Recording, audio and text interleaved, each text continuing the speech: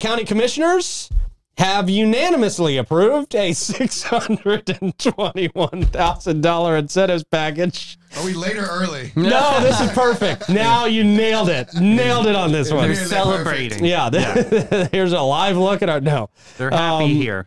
For the TyMe uh, Institute, a new uh, cancer prevention clinic. These incentives cover 100% of all impact fees. There we go. We're giving away the impact fees. Four years of ad valorem tax on capital improvements and four years of tangible personal property tax, along with expedited permitting. The time, it's either Time or Timey, T Y, capital M E, Institute affiliated with the Jacksonville based developer Cross Regions Group Hmm. represents a total investment of about $20.5 million for land, building, and equipment. It's expected to create 54 high wage jobs.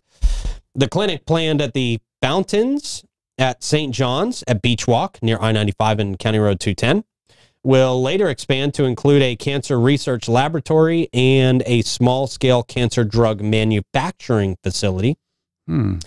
The clinic planned, uh, I'm sorry, David Ergisi, president and CD, CEO of Cross Regions, founded the Cancer Research Institute in memory of his son, Oh yeah. Tyler Mert Urg- Urgisi, hmm who lost his life um, to cancer at age 19. Oh, that's Ah. sad. It was bone cancer or something. It's horrible. Urgisi, it, it was osteosarcoma. Yeah, man. Yeah.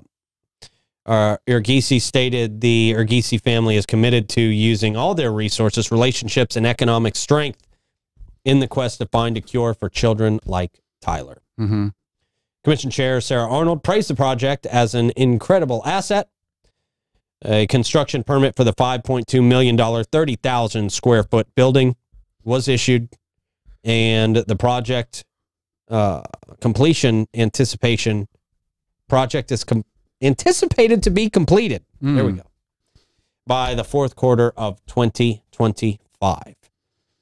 Uh, the two story facility will be located west of Ascension St. Vincent's Healthcare. Oh, that's interesting. Okay. Good. I like that they're in tangent with each other. Yeah, right in that same area. So uh, there you go. How do you feel about this, Troy?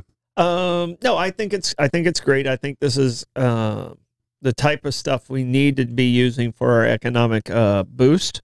Um, I think they said they gave four years for ad valorem and and the impact fees. I, I don't necessarily always agree with the impact fees on commercial in Mm. St. Johns County. Yeah. So I'm okay with that. Um, and the reason why is I think we we're so out of balance with our residents to commercial. Um, you know, I think we're like, you know, like 83% residential, like 17%. And we'll ask Joy this tomorrow, commercial, and we need to be more like 70 30.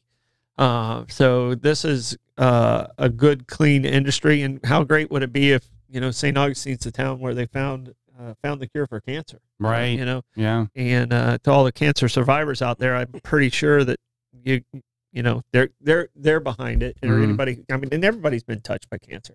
Mhm. I I don't know of anybody who hasn't been, you know, affected by it in their family. When deciding the size of commercial companies coming in, is that a factor? Like, is, is a company Well- too big for St. Johns County? Um, it, it depends on what incentives they're asking for. So, I mean, like the incentives might be too big. The company's not going to be too big. Mm. but the incentives might be too big. It just depends on where they're placed and and uh, the concurrency of that area and, and uh, you know how how the mobility around that area is going to be.